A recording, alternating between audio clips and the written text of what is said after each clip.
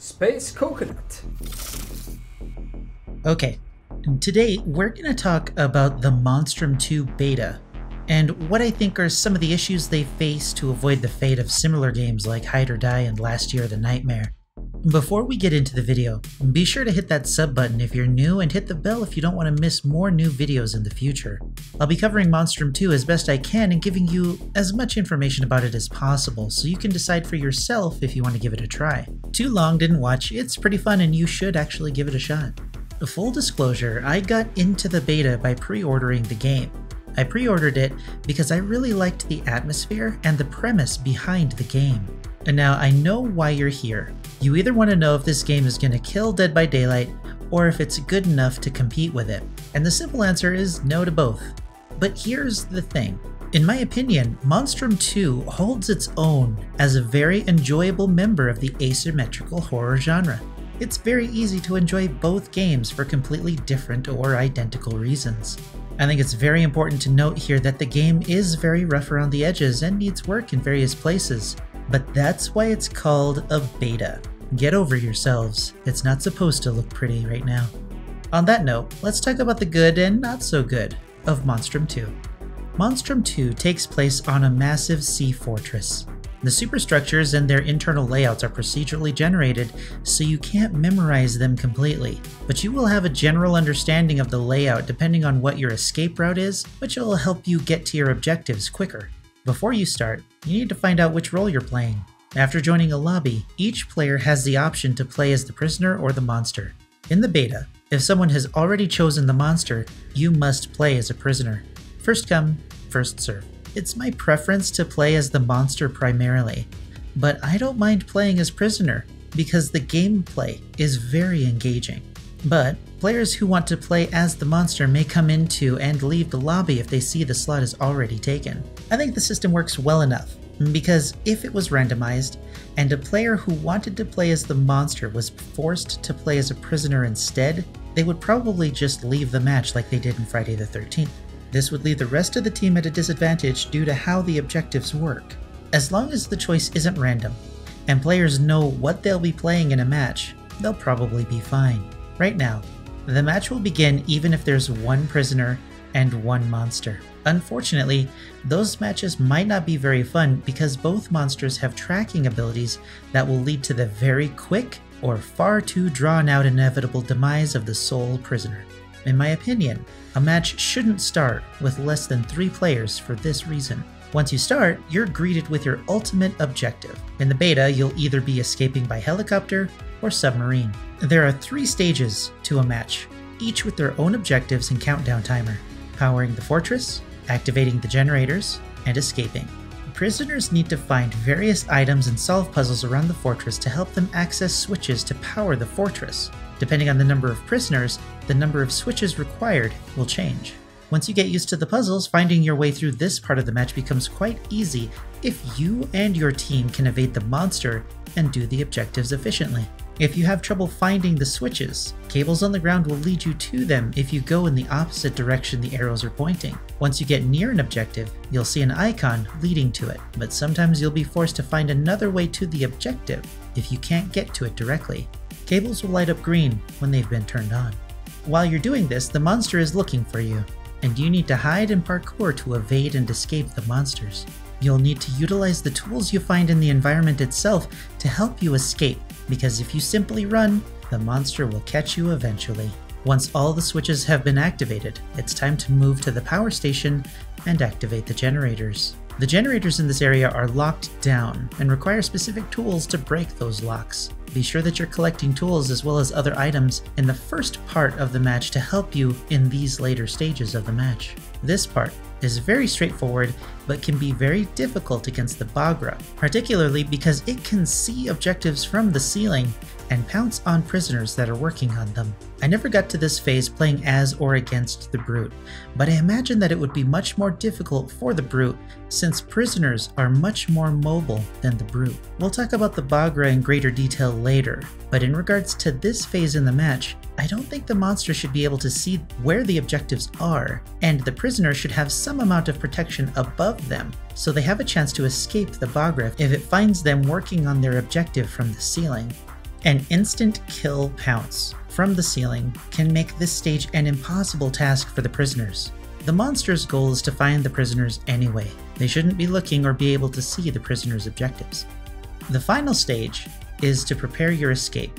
The helicopter and the submarine each have different steps to escape. This is the most exciting and tense part of a match. You're essentially locked in a relatively small area against the monster as your escape is prepared. I don't have much to say about this phase of the match since playing as either side, it felt pretty fair when there were multiple survivors who made it this far. When I was killed by a monster, it felt fair. When I killed a prisoner, it was mostly after a good chase.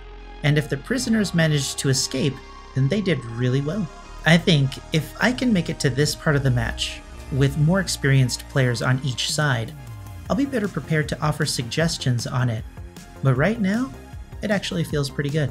Once the escape is prepped, prisoners need to run to the escape area, and the match ends. So let's talk about the monsters. The Brute is a lumbering lava monster that can grab prisoners and end them instantly. He has a charge ability that will deal 50% damage to a prisoner if you make contact with them. The charge doesn't stop until you smack into an obstacle. He can perform a yell that will reveal the locations of prisoners within a certain range, giving you an idea of where to look if you're having trouble finding them. His last ability is a smash that will slow prisoners down and destroy all destroyable items in the area. For all his strength, it can be quite difficult to navigate the area while chasing prisoners. But this is a matter of map RNG and the skills between the monster and the prisoner. It would be nice if there was a little more feedback from the smash to show that a prisoner was slowed, because whenever I used it, I didn't actually notice any change in their speed. The trick to knowing what's good or bad with the brute is to look at him when all of the players are relatively experienced. He's also very simple and straightforward to use, so any issues with the Brute are going to be related directly to the map and the mobility of prisoners, not necessarily the Brute himself. The Bagra is my favorite monster so far. With overpowered mobility, it can destroy prisoners with a fully charged pounce from the ground or from the ceiling. It can easily chase prisoners down as they use crawl spaces and windows to try and escape because of its small frame. The Bagra can be evaded well enough, since its camera is very low to the ground and tracking prisoners up close can be tricky if they're not running a straight line or utilizing the camera or the fire extinguisher to hinder its sight. But as much as I like this puppy, it definitely needs to be toned down. It can utilize the ceiling crawl or the pounce to jump between the superstructures if it's in the right position. And even for a genetically enhanced monster, it might be too much. The distance it can leap should definitely be shorter, and the leap damage it can deal should be less as well. Its ceiling crawl between areas, the distance that it can leap from the ground to the ceiling should be adjusted as well, because you can utilize this to instantly jump to a different superstructure depending on your positioning. From the ground floor, it can leap three stories to the ceiling during the power station phase to make finding and killing prisoners far too easy during this phase of the match. The devs have taken steps to mitigate the camping potential of monsters, but it can still be quite difficult for prisoners to accomplish their tasks because of the Bagra's ceiling mobility. As for the prisoners, playing as a prisoner is genuinely entertaining. The simple task of powering switches and hiding from the monster is made more complicated by the puzzle nature of each switch. Hiding in lockers is particularly interesting since there's a tiny minigame that happens if a monster finds you in one. Each player clicks the left or the right mouse button, and the prisoner has a chance to escape unharmed or be slaughtered in the locker by the monster, depending on what each player's choice was. It's an interesting chance game that they added to a very simple mechanic. Prisoners will have to find codes, use tools scattered around the map, open secret panels, and look for alternate routes inside rooms to access the panels to power those switches. In regards to the tools, prisoners can carry, I think, four items at the start, and that capacity will increase if you manage to find a backpack. If you come across an item that you don't need, you can use the middle mouse button to ping it to other prisoners so they can pick it up if they need it. The puzzles make this phase of the match very fun because of the variety in the puzzles available. The second phase is more difficult because of the small area that the generators exist in, but with a few tweaks, this phase can feel more fair than it does right now. The last phase is the most tense section since you're trying to get your escape ready while evading the monster in the same area. In the submarine, there was an instance where we couldn't locate the code needed for the final step and time ran out. I did notice, however, that if the monster found the room that we were in, there was no way we would have been able to access the code panel anyway. If I'm right, it was the only one that was available, so it could have camped that spot and prevented our escape.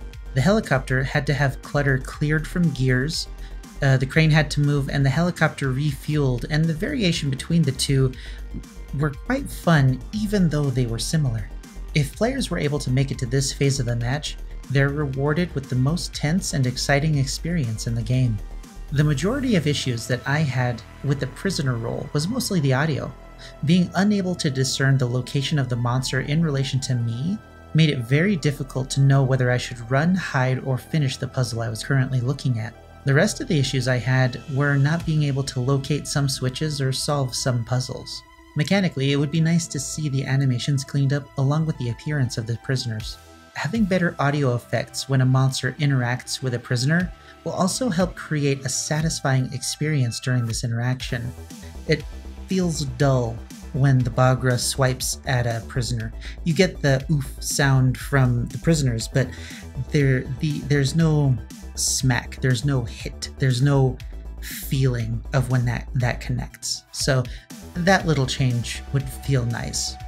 Even though many of these things do absolutely need to be adjusted, none of them took away from the fun experience that players had in the game. In my lobbies, I would often ask the other players what they thought, and the statements were generally the same. The game is very fun to play, but needs some polish. But of course, the devs already know this. The 13 person Junkfish dev team have done a wonderful job creating a new and exciting horror experience, and I'm very interested to see what they change between now and its open beta or its full release, whatever comes next. When it's closer to open beta and release, I'll make another video with as much information as I can gather in order to help players navigate this very interesting addition to the asymmetrical horror genre. I do have questions for the devs in regards to new and different puzzles, escape routes, progression systems, and, you know, any changes to the lobby they might make.